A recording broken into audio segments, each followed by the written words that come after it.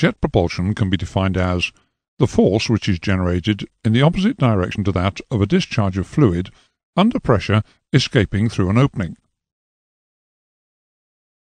The force that makes a lawn sprinkler, similar to the one shown here, rotate when water flows through it is one example of jet propulsion that is readily apparent in everyday life. And the thrust that sends rockets, like this one, into space is another, which is perhaps not such an everyday occurrence. Whatever the form that the device utilizing jet propulsion takes, it is essentially a reaction engine, which operates on the principle of the third law of motion, as stated by the English physicist Sir Isaac Newton in 1687, which is that every action has an equal and opposite reaction. The first recorded use of a reaction engine was by Hero of Alexandria in 250 BC.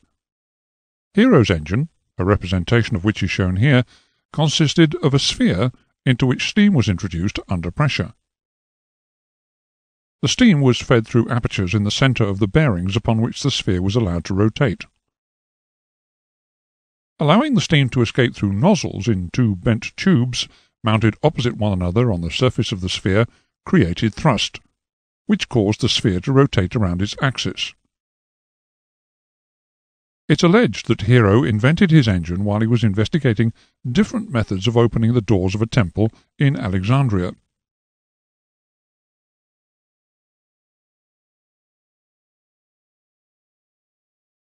In recent times, one of the first attempts at creating jet-powered aircraft resulted in the development of a hybrid design.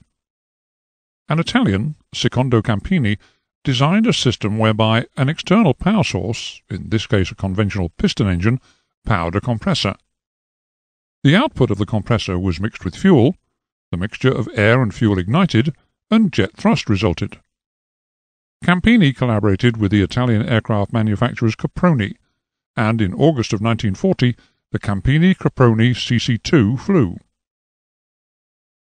Although the Italians were unaware of it, a year earlier than this the Germans had flown their version of a jet aircraft, the Heinkel 178.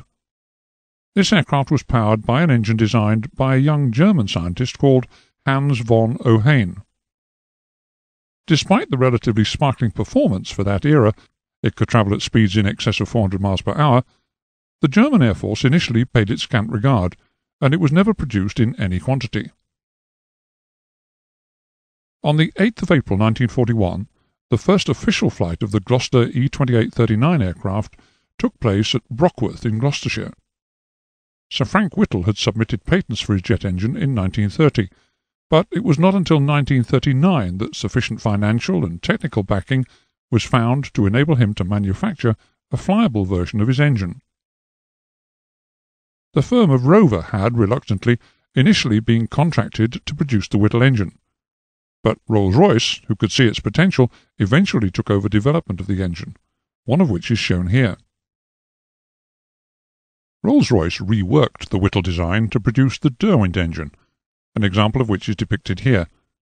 This engine was capable, in its Mark IV version, of producing 2,450 pounds of thrust.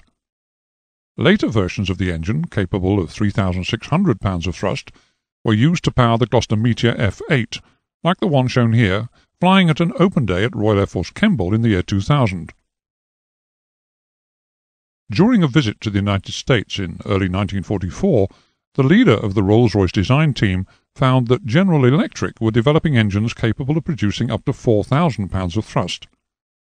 As a response to this, after his return, he initiated a project which culminated in the Nene engine, which at the time was the most powerful engine in the world, with 5,000 pounds of thrust. Possibly one of the most important but least publicized uses of this engine was its incorporation into the Russian MiG-15 aircraft, which was so effective in the Korean conflict. One critical difference between the German engines used in the Heinkel and the later Messerschmitt 262 and those developed from Sir Frank Whittle's original engine was the type of compressor employed.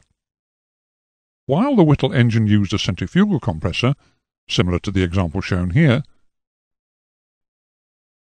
the German engines, like the BMW 003 model used in the Heinkel 162, utilized an axial flow compressor, similar in design to the cutaway model shown.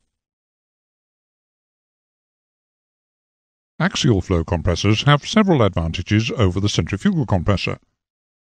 For instance, whereas the centrifugal compressor compression ratio is limited to approximately 12 to 1, when the maximum of two stages are used in series, by adding more stages to an axial flow compressor, compression ratios as great as 40 to 1 can be obtained. The term compression ratio refers to the ratio of the pressure at the outlet of a compressor to that at its inlet.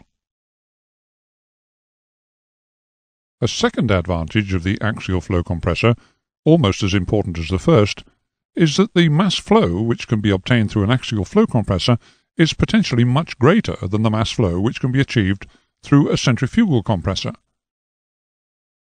As a consequence of these factors, the development of the early centrifugal compressor engines was subjugated in favour of the advancement of the axial flow compressor engines, which continues today.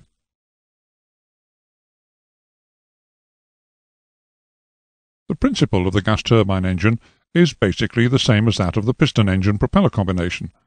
They both propel a mass of air backwards. Mass times acceleration equals force. In a gas turbine engine, the mass, m, mentioned in the equation, is the air delivered by the compressor. The acceleration in the equation is the difference in the outlet velocity of the air, VO, to that of its inlet velocity, V1, due to the addition of heat energy. Force equals mass times V0 minus V1, which equals thrust. With the piston-engine propeller combination, the propeller drives a relatively large mass of air backwards fairly slowly, while the gas turbine throws a small mass of air backwards relatively quickly. Newton's third law states, For every force acting on a body, there is an equal and opposite reaction. In the two cases quoted earlier, the piston engine propeller combination and the gas turbine engine, the force created by the mass of air being thrown backwards and its velocity generates a reaction in the opposite direction, driving the aircraft forwards. It must be remembered that the jet reaction does not result from the pressure of the jet on the atmosphere.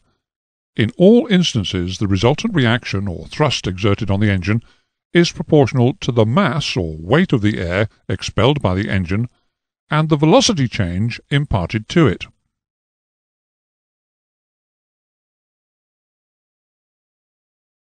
The working cycle of the gas turbine engine is called the Brayton cycle, after George Brayton, an American mechanical engineer who invented the continuous ignition engine, which was the basis of the gas turbine engine.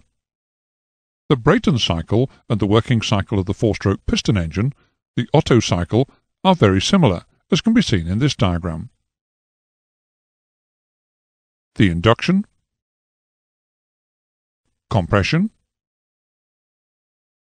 power, and exhaust strokes of the Otto cycle are each matched by induction, compression, combustion, and exhaust stages in the Brayton cycle. One major difference, however, exists in that in the gas turbine engine, combustion, theoretically, occurs at a constant pressure, whereas in the piston engine it occurs, once again theoretically, at a constant volume. Power is developed in the turbine of the engine. Other differences between the piston engine and the gas turbine engine concern the continuous manner in which these processes occur in the gas turbine engine, as opposed to the intermittent procedure occurring in the piston engine. In the piston engine, only one of the strokes is utilized in producing power. The other three are effectively absorbing power, while in the gas turbine engine, the three idle strokes have been eliminated, thus allowing more time for the burning of fuel. This is just one of the reasons why the gas turbine engine has a greater power-weight ratio than the piston engine.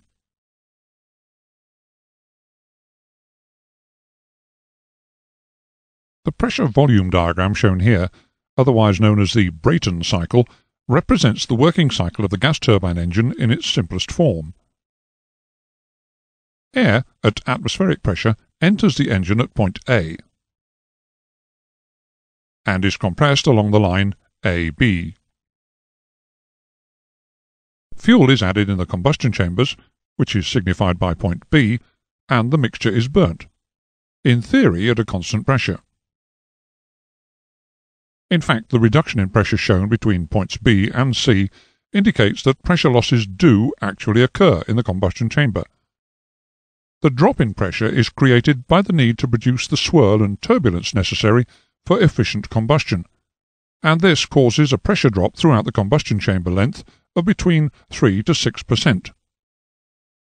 Notwithstanding this drop, a considerable increase in the volume of the air is generated within the combustion chamber.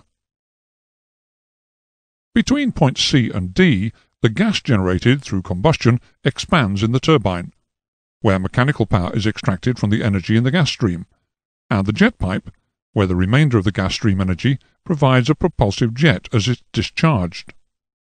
In theory, the gas stream pressure attains a value equal to atmospheric pressure before being ejected.